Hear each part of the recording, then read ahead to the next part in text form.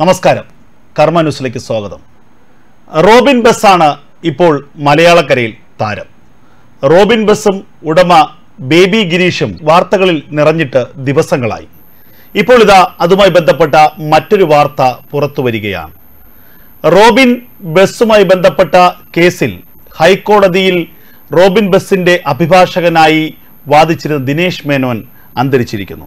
ഹൃദയാഘാതത്തെ തുടർന്നാണ് ദിനേശ് മേനോൻ അന്തരിച്ചത് ഇരുപത്തിരണ്ടാം തീയതി. റോബിൻ ബസിന്റെ പെർമിറ്റുമായി ബന്ധപ്പെട്ട നിർണായക വിധി ഹൈക്കോടതിയിൽ നിന്ന് വരാനിരിക്കെയാണ് വളരെ അപ്രതീക്ഷിതമായി ദിനേശ് മേനോന്റെ മരണമുണ്ടായിരിക്കുന്നത്. എപ്പോഴും ചിരിക്കുന്ന മുഖവുമായി ഹൈക്കോടതിയിൽ എത്തുന്ന ദിനേശ് മേനോന്റെ മരണവാർത്ത സുഹൃത്തുക്കൾക്കിടയിൽ വലിയ ഞെട്ടലാണ് ഉണ്ടാക്കിയത്. ഒരു അഭിഭാഷകൻ എന്നതിന് പുറമെ ചലച്ചിത്ര താരമായും നിരവധി അവാർഡുകളും പ്രശസ്തിയും നേടിയിട്ടുണ്ട്. ദിനേശ് മേനോൻ ബാലതാരമായി അഭിനയിച്ച ചിത്രത്തിലൂടെ ദേശീയ അവാർഡ് നേടി. പിന്നീട് അദ്ദേഹം നിരവധി ചിത്രങ്ങളിൽ മികച്ച വേഷങ്ങൾ കൈകാര്യം ചെയ്തിരുന്നു. അപ്രതീക്ഷിതമായാണ് അദ്ദേഹത്തിന്റെ മരണം സംഭവിക്കുന്നത്. നമുക്കറിയാം മാസങ്ങൾക്ക് മുമ്പാണ് മറ്റൊരു കേസിലെ പ്രധാന പരാതിക്കാരനായ ഗിരീഷ് ബാബു എറണാകുളം സ്വദേശിയായ ഗിരീഷ് ബാബു മരണപ്പെടുന്നു. അതും ഹൃദയാഘാതം മൂലമായിരുന്നു. മുഖ്യമന്ത്രിയുടെ മകൾ വീണ വിജയനെതിരെ ഉയർന്ന മാസപ്പടി വിവാദത്തിലെ പരാതിക്കാരനായിരുന്നു ഗിരീഷ് ബാബു. മാസപ്പടി വിവാദത്തിൽ വിജിലൻസ് അന്വേഷണം നടത്തണമെന്നാവശ്യപ്പെട്ട് ഹൈക്കോടതിയെ സമീപിച്ച വ്യക്തിയായിരുന്നു ഗിരീഷ് ബാബു. നിരവധി കേസുകളിൽ അതിനു മുൻപുണ്ടായ നിരവധി പ്രമാദമായ കേസുകളിലെ പരാതിക്കാരൻ കൂടിയായിരുന്നു ഗിരീഷ് ബാബു. ഒരു പൊതുപ്രവർത്തകൻ എന്ന നിലയ്ക്ക് വളരെയധികം പിന്നെ ഗഹനമായി വിഷയങ്ങൾ ഇടപാട് ഇടപെടുകയും ഗഹനമായി വിഷയങ്ങൾ പഠിക്കുകയും അത് അനീതിക്കെതിരെ ശക്തമായി പോരാടുകയും ശബ്ദമുയർത്തുകയും ചെയ്തിരുന്ന വ്യക്തിയായിരുന്നു ഗിരീഷ് ബാബു. ആ ഗിരീഷ് ബാബുവിന്റെ മരണവും വളരെ പെട്ടെന്നായിരുന്നു. പിന്നീട് മാസപ്പടി വിവാദത്തിൽ കേസുമായി സഹകരിക്കാൻ താല്പര്യമില്ലെന്ന് ഗിരീഷ് ബാബുവിന്റെ കുടുംബം അറിയിക്കുകയും ആ കേസ് പിൻവലിക്കുകയും ചെയ്തിരുന്നു.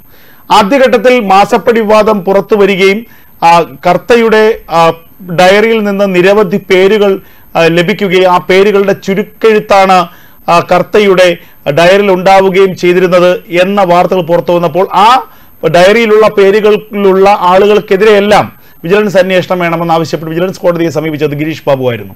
എന്നാൽ വിജിലൻസ് കോടതി ഈ ആവശ്യം തള്ളി. പിന്നാലെയാണ് ഹൈക്കോടതി ഗിരീഷ് ബാബു സമീപിച്ചത്. ഹൈക്കോടതിയിൽ കേസ് നടത്തുന്നതിനിടയിലാണ് അപ്രതീക്ഷിതമായി മരണം ഗിരീഷ് ബാബുവിനെ തട്ടിയെടുത്തത്. അതും ഹൃദയാഘാതം മൂലമായിരുന്നു മരണമെന്നാണ് പുറത്തറിയി പുറത്തറിഞ്ഞത്. പിന്നീട് പിന്നീട് ഗിരീഷ് ബാബുവിന്റെ കുടുംബത്തിന് ഈ കേസുമായി മുന്നോട്ട് പോകാൻ താല്പര്യമില്ല. കുടുംബത്തിന് ഇതിൽ കക്ഷി ചേരാൻ അനുവദിക്കണമെന്ന് ഗിരീഷ് ബാബുവിന്റെ അഭിഭാഷകൻ കോടതിയിൽ ആവശ്യപ്പെട്ടുവെങ്കിലും കുടുംബം ഇതിൽ നിന്ന് പിന്മാറുകയായിരുന്നു ഒടുവിൽ ആ കേസ് പൂർണമായും പിൻവലിക്കുകയായിരുന്നു ഗിരീഷ് ബാബുവിന്റെ കുടുംബം. ഇപ്പോൾ ഇതാ മറ്റൊരു പ്രമാദമായ കേസിൽ റോബിൻ ബസ്സുമായി ബന്ധപ്പെട്ട അതിന്റെ പെർമിറ്റുമായി ബന്ധപ്പെട്ട വലിയ തർക്കങ്ങളും വലിയ വിവാദങ്ങളും കത്തി നിൽക്കുന്ന സമയത്താണ് റോബിൻ ബസ്സിന്റെ കേസ് കൈകാര്യം ചെയ്യുന്ന അഭിഭാഷകനായ ദിനേശ് മേനോനും മരണപ്പെടുന്നു ഹൃദയാഘാതമാണ് മരണകാരണമെന്നാണ് പുറത്തു വരുന്ന വിവരങ്ങൾ. ഇതിൽ കേവലം ഒരു ആശങ്ക മാത്രം പ്രകടിപ്പിക്കുകയാണ്. കാരണം ഇങ്ങനത്തെ പ്രമാദമായ സംഭവങ്ങളിൽ ഇടപെടുന്നവർ ആകസ്മികമായി മരണപ്പെടുന്നത് വളരെ വേദനാജനകമാണ്. ഇതിൽ എന്തെങ്കിലും അസ്വാഭാവികതകളുണ്ടോ എന്ന ചിന്തിക്കുന്നതിലും തെറ്റില്ല. കാരണം ആരെങ്കിലും അങ്ങനെ ചിന്തിച്ചാൽ അവരെ കുറ്റം പറയാനുമാകില്ല കാരണം ഇവരെല്ലാം തന്നെ പ്രമാദമായ വിഷയങ്ങൾ കൈകാര്യം ചെയ്തിരുന്നവരാണ് ചെയ്യുന്നവരാണ്. അങ്ങനെയുള്ളവർക്ക് പെട്ടെന്നുണ്ടാകുന്ന അവരുടെ വിയോഗം. ആ വിയോഗത്തിൽ നമ്മൾ എന്തെങ്കിലും ഒരു അസ്വാഭാവികത കണ്ടെത്തിയാൽ ചിന്തിച്ചാൽ അത് തെറ്റു പറയാനൊക്കില്ല എന്നുള്ളതാണ് യാഥാർത്ഥ്യം. കാരണം ഹൃദയാഘാതം എന്നൊക്കെ ഉള്ളത് ഇന്ന് സ്വാഭാവികമായി സംഭവിക്കുന്നത് മാത്രമല്ല. ഏതെങ്കിലും ഒരു തരത്തിൽ അത്തരമൊരു മരണകാരണം ഉണ്ടാക്കാവുന്ന രീതിയിൽ വൈദ്യശാസ്ത്രത്തിന്റെ പഴുതുകൾ പലരും ഉപയോഗിക്കുന്നുണ്ട്. പല രീതികളിൽ പല മരുന്നുകൾ ഉപയോഗിച്ചാൽ സ്വാഭാവികമായി സംഭവിക്കുമെന്ന് തോന്നുന്ന തരത്തിൽ ഒരാളെ കൊലപ്പെടുത്താൻ അപയ അപായപ്പെടുത്താൻ ചിലപ്പോൾ കഴിഞ്ഞെന്ന് വരും. ചില സാഹചര്യത്തിൽ ചില മരുന്നുകൾ ഉപയോഗിച്ചാൽ സ്വാഭാവികമായി ഉണ്ടാകുന്നതെന്ന് തോന്നുന്ന തരത്തിൽ ഹൃദയാഘാതമടക്കം സംഭവിക്കാം. അത്തരത്തിൽ പല ആളുകളെയും അപായപ്പെടുത്തിയ സംഭവങ്ങൾ നമ്മുടെ മുന്നിലുണ്ട്. ഇതൊക്കെ നമ്മളെ ചിന്തിക്ക നമ്മളെ ഇതൊക്കെ നമ്മളെ പ്രേരിപ്പിക്കുന്നത് വളരെയധികം ഭയത്തോടുകൂടി ഇത്തരം വാർത്തകളെ സമീപിക്കാനാണ്. ഇവിടെ ഇപ്പോൾ സ്വാഭാവികമായ മരണമായിരിക്കാം. സ്വാഭാവികമായി അദ്ദേഹത്തിന് ഉണ്ടായ ഹൃദയാഘാതമായിരിക്കാം. പക്ഷേ ഇതൊക്കെ സംഭവിക്കുന്നത് ഇങ്ങനെ സമൂഹത്തിലെ അനീതിക്കെതിരെ സമൂഹത്തിലെ കെടുകാര്യസ്ഥതയ്ക്കെതിരെ പോരാടുന്നവർക്കാണ് എന്നതുകൂടി കേൾക്കുമ്പോഴാണ് നമ്മുടെ മനസ്സുകളിൽ ആശങ്കയുണ്ടാകുന്നത്. റോബിൻ ബസിന്റെ വിഷയം തന്നെ നമുക്കെടുക്കാം. റോബിൻ ബസിന്റെ വിഷയം എന്തായിരുന്നു? കേരളത്തിൽ ഒരു സംരംഭം നടത്താൻ ആഗ്രഹിക്കുന്ന ഒരു സംരംഭകനുണ്ടായ അല്ലെങ്കിൽ ഉണ്ടായിക്കൊണ്ടിരിക്കുന്ന ദുരവസ്ഥയുടെ നേർചിത്രമാണ് റോബിൻ ബസിന്റെ ഉടമ ബേബി ഗിരീഷ്. ഒരു ബസ് സർവീസ് പത്തനംതിട്ടയിൽ നിന്നും കോയമ്പത്തൂരിലേക്ക് കോൺട്രാക്ട് കാരേജിലൂടെ ഓപ്പറേറ്റ് ചെയ്യാൻ ശ്രമിക്കുന്നു.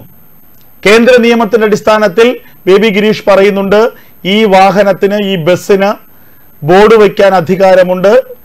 പല സ്ഥലങ്ങളിൽ നിന്നും ആളുകളെ ആ വാഹനത്തിലേക്ക് കയറ്റാൻ അവകാശമുണ്ട് എന്ന്. എന്നാൽ കേരളത്തിലെ മോട്ടോർ വാഹന വകുപ്പ് അത് അംഗീകരിക്കുന്നില്ല. ഇതിനു മുൻപ് മോട്ടോർ വാഹന വകുപ്പ് രണ്ട് തവണ ബസ് പിടിച്ചെടുത്തു കനത്ത പിഴ ചുമത്തി. ബേബി ഗിരീഷ് ആ പിഴ അടച്ച ശേഷം ആ ബസ് തിരികെ എടുത്തു. അതും ഹൈക്കോടതിയുടെ ഉത്തരവിന്റെ അടിസ്ഥാനത്തിൽ. വീണ്ടും ഇതുമായി ബന്ധപ്പെട്ട പ്രമാദമായ കേസ് നിലനിൽക്കുന്നു. ഇരുപത്തിരണ്ടാം തീയതി പെർമിറ്റുമായി ബന്ധപ്പെട്ട നിർണായക വിധി വരാനിരിക്കുന്നു. കഴിഞ്ഞ ദിവസം പത്തനംതിട്ടയിൽ നിന്നും കോയമ്പത്തൂരിലേക്ക് ബസ് വീണ്ടും യാത്ര ആരംഭിച്ചു. ബേബി ഗിരീഷിന്റെ കയ്യിലുള്ളത് കേന്ദ്ര നിയമത്തിന്റെ അടിസ്ഥാനത്തിലുള്ള പെർമിറ്റും ഉത്തരവുമാണ്. പക്ഷെ സംസ്ഥാന മോട്ടോർ വാഹന വകുപ്പിന് കേന്ദ്ര നിയമം ബാധകമല്ല. അവർ വീണ്ടും വീണ്ടും ഈ ബസ്സിനെ പിടിച്ചടക്കി പിടിച്ചിടുന്നു. ആ വാഹനത്തിനെതിരെ പിഴ ചുമത്തുന്നു. അതിലുള്ള ജീവ യാത്രക്കാരെ പുറത്തിറങ്ങാൻ പറയുന്നു. അവരെ ഇറക്കിവിടാൻ ശ്രമിക്കുന്നു. ജനങ്ങൾ ഒറ്റക്കെട്ടായി. കേരളത്തിന്റെ പൊതുസമൂഹം സുരേഷ് ഗോപിക്ക് പിന്നാലെ ഏറ്റവും അധികം ഒത്തുചേർന്നത് ഈ റോബിൻ ബസ് വിഷയത്തിൽ എന്ന് പറഞ്ഞാൽ അതിശക്തിയില്ല. വളരെ സജീവമായി ജനങ്ങൾ ഇടപെട്ടു. യാത്രക്കാർ ഒന്നടങ്കം മോട്ടോർ വാഹന വകുപ്പിനെതിരെ തിരിഞ്ഞു. ഒടുവിൽ ഏഴായിരത്തി അഞ്ഞൂറ് രൂപ പിഴ ചുമത്തി ഈ ബസ് തമിഴ്നാട്ടിലേക്ക് കടന്നു. അപ്പോഴാണ് നമ്മുടെ ഭരണാധികാരികളുടെ കുടില ബുദ്ധി തെളിഞ്ഞത്. കേരളത്തിലെ മുഖ്യന്റെ ഏറ്റവും അടുത്ത ആളാണ് തമിഴ്നാട് മുഖ്യമന്ത്രി സ്റ്റാലിൻ. അപ്പോൾ കേരളത്തിന്റെ ഭരണകൂടത്തെ വെല്ലുവിളിച്ചുകൊണ്ട് തമിഴ്നാട്ടിലേക്ക് എത്തുന്ന ഒരു ബസ് എന്നത് തമിഴ്നാട് സർക്കാരിന്റെ ശത്രുവാണ്. അങ്ങനെ കേരളത്തിലെ മോട്ടോർ വെഹിക്കിൾ ഉദ്യോഗസ്ഥർ അറിയിച്ചതിനനുസരിച്ച് തമിഴ്നാട്ടിൽ റോബിൻ ബസ്സിനെ പിടിച്ചിടുന്നു കനത്ത പിഴ ചുമത്തുന്നു. അവിടെ മോട്ടോർ വാഹന വകുപ്പ് ആ ബസ് പിടിച്ചെടുക്കുന്നു. യാത്രക്കാരെ മറ്റൊരു സ്വകാര്യ ബസ്സിൽ നാട്ടിലേക്ക് അയക്കുകയാണ് ബി ഗിരീഷ്. തനിക്കുണ്ടായ സാമ്പത്തിക നഷ്ടങ്ങളൊന്നും അദ്ദേഹം കണക്കാക്കുന്നില്ല. വലിയ പോരാട്ടത്തിന് അദ്ദേഹം തയ്യാറെടുക്കുകയാണ്. ഈ ബസ് തിരിച്ചു കിട്ടണമെങ്കിൽ അപേക്ഷ കൊടുക്കണം. അപേക്ഷ കൊടുത്താൽ മൂന്ന് ദിവസം കഴിഞ്ഞ് ബസ് വിട്ടു നൽകാമെന്ന് തമിഴ്നാട് മോട്ടോർ വാഹന വകുപ്പ് ഉദ്യോഗസ്ഥർ അദ്ദേഹത്തെ അറിയിക്കുന്നു. എന്താണ് റോബിൻ ബസ് ചെയ്ത അപരാധം? ഇന്ത്യയിലെ മോട്ടോർ വാഹന നിയമത്തിന്റെ അടിസ്ഥാനത്തിൽ അദ്ദേഹം വാഹന നിരത്തിലൂടെ ഓടിക്കുന്നു. എന്നാൽ സംസ്ഥാനത്തിന് ആ നിയമം ബാധകമല്ലെന്നാണ് സംസ്ഥാന മോട്ടോർ വാഹന വകുപ്പ് പറയുന്നത്. ഇപ്പോൾ ഇതാ കേന്ദ്ര നിയമത്തിലെ അപാകതകൾ പരിഹരിക്കണമെന്നാവശ്യപ്പെട്ട് സംസ്ഥാനം ഹൈക്കോടതിയെ സമീപിച്ചിരിക്കുന്നു. കേന്ദ്രത്തിലെ അപാകത പരിഹരിക്കണമെന്നാവശ്യപ്പെട്ട് അപ്പോൾ അപാകത ഉണ്ടോ ഇല്ലയോ എന്നുള്ളത് രണ്ടാമത്തെ വിഷയം. റോബിൻ ബസ്സിന് നൽകിയ പെർമിറ്റ് അടിസ്ഥാനത്തിലാണ് അവർ വാഹനം ഓപ്പറേറ്റ് ചെയ്തതെന്നുള്ളത് ഈ കെ എസ് ആർ ടി സിയുടെ ഈ സത്യവാങ്മൂലത്തിലൂടെ തന്നെ വ്യക്തമാവുകയാണ്. കെ എസ് ആർ ടി സിക്ക് അനുകൂലമായി മാത്രം ഒരു സർക്കാർ നിയമങ്ങൾ ഉണ്ടാക്കുന്നത് എന്ത് അടിസ്ഥാനത്തിലാണ്? ഈ കെ എസ് ആർ ടി സിയെ നന്നാക്കാൻ നോക്കിയിട്ട് ഇത്രയും കാലം അത് പടുകുഴിയിൽ നിന്ന് പടുകുഴിയിലേക്ക് വീണുകൊണ്ടിരിക്കുകയാണ്. ഈ K S R T C എന്ന് പറയുന്നത് ഒരു വെള്ളാനയാണ്. ചില ആളുകൾക്ക് സ്വന്തം പോക്കറ്റ് വീർപ്പിക്കാൻ വേണ്ടി മാത്രമുള്ള ഒരു സംവിധാനം. അല്ലാതെ കേരളത്തിന്റെ പൊതുഗതാഗതത്തെ പരിപോഷിപ്പിക്കാനായി സർക്കാർ നടത്തുന്ന ഒരു സംവിധാനമായി കെ എസ് ആർ ടി സിയെ കണക്കാക്കാനാകില്ല. ചില യൂണിയൻ നേതാക്കന്മാർക്ക് ജോലി ചെയ്യാതെ ശമ്പളം പറ്റാനുള്ള ഒരു ഏർപ്പാട് ചില ഉദ്യോഗസ്ഥർക്ക് ടയറിന്റെ പേരിൽ പുതിയ വാഹനങ്ങളുടെ പേരിൽ അറ്റകുറ്റപ്പണിയുടെ പേരിൽ സ്പെയർ പാർട്സിന്റെ പേരിലൊക്കെ പോക്കറ്റ് വീർപ്പിക്കാനുള്ള ഒരു ഇടനില സ്ഥാപനം. ചില വകുപ്പുകൾക്ക് ചില മന്ത്രിമാർക്ക് ഒരു ടേം ഇരുന്നാൽ ഗതാഗത മന്ത്രിയായിരുന്നാൽ എന്തെങ്കിലും നക്കാപ്പിച്ച് ഒപ്പിച്ചെടുക്കാൻ പറ്റുന്ന ഒരു വെള്ളാൻ അതിനപ്പുറം കേരളത്തിലെ കെ എസ് ആർ ടി സിയെ കുറിച്ച് എന്താണ് പറയാനുള്ളത്? ആര് വന്ന് ഭരിച്ചാലും നന്നാക്കാനാകില്ല എന്ന് നിരന്തരം തെളിയിച്ചുകൊണ്ടിരിക്കുന്ന ഒരു സ്ഥാപനത്തിന് വേണ്ടി കേരളത്തിലെ പാവപ്പെട്ട ഒരു ബസ് ഓപ്പറേറ്ററെ ഇങ്ങനെ ശാരീരികവും മാനസികവുമായി പീഡിപ്പിക്കുന്ന ഒരു ശൈലി ഒരു സമീപനം അതിനെ ജനങ്ങൾ വെറുക്കുകയാണ്. ഒരു കൈയും ഒരു കാലും സ്വാധീനശേഷിയില്ലാത്ത ഒരു പാവം മനുഷ്യൻ അദ്ദേഹം രാജ്യത്തെ നിയമ സംവിധാനങ്ങളെ മാത്രം വിശ്വസിച്ചുകൊണ്ട് നിയമ പോരാട്ടം നടത്തുകയാണ്. അദ്ദേഹം അതിക്രമത്തിന് പോകുന്നില്ല. അദ്ദേഹം പത്ത് ഗുണ്ടകളെ കൊണ്ട് റോഡിലിറങ്ങി ഗുണ്ടായുസം കാണിക്കുന്നില്ല.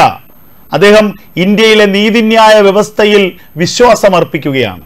ഇന്ത്യയിലെ നീതിന്യായ വ്യവസ്ഥ തനിക്ക് സംരക്ഷണം തരുമെന്ന് നിരന്തരം അദ്ദേഹം പ്രതീക്ഷിക്കുന്നു. ആ നീതിന്യായ വ്യവസ്ഥയുടെ മുഖത്തു നോക്കി ഇളിഭ്യച്ചിരിയുമായി അധികാരത്തിന്റെ ഗർവിൽ മോട്ടോർ വാഹന വകുപ്പ് ഉദ്യോഗസ്ഥർ ഇങ്ങനെ തെരുവുകളിൽ അഴിഞ്ഞാടുകയാണ്. ഈ കേരളത്തിന്റെ തെരുവുകളിലൂടെ കേരളത്തിന്റെ റോഡുകളിലൂടെ കഞ്ചാവും മയക്കുമരുന്നും ബ്രൗൺ ഷുഗറും സ്പിരിറ്റുമായി നിരന്തരം വാഹനങ്ങൾ അങ്ങോട്ടും ഇങ്ങോട്ടും പോകുന്നു. സ്വർണം കടത്തിക്കൊണ്ടുപോകുന്ന വാഹനങ്ങളടക്കമുണ്ട് ഇതൊന്നും കണ്ടുപിടിക്കാനോ ഇവയൊന്നും പരിശോധിച്ച് ഈ ക്രമക്കേടുകൾ കണ്ടുപിടിക്കാനോ ഈ കൊള്ളയും കൊള്ളരുതായ്മയും കണ്ടുപിടിക്കാനോ കേരളത്തിലെ മോട്ടോർ വാഹന വകുപ്പിലെ ഏമാന്മാർക്ക് സമയമില്ല. അല്ലെങ്കിൽ അതിന് മിനക്കെടുന്നില്ല.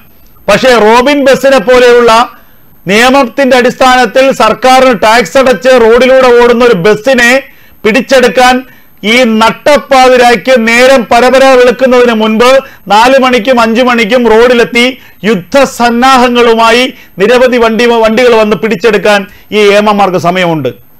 ഭയങ്കര വീരകൃത്യമാണ്.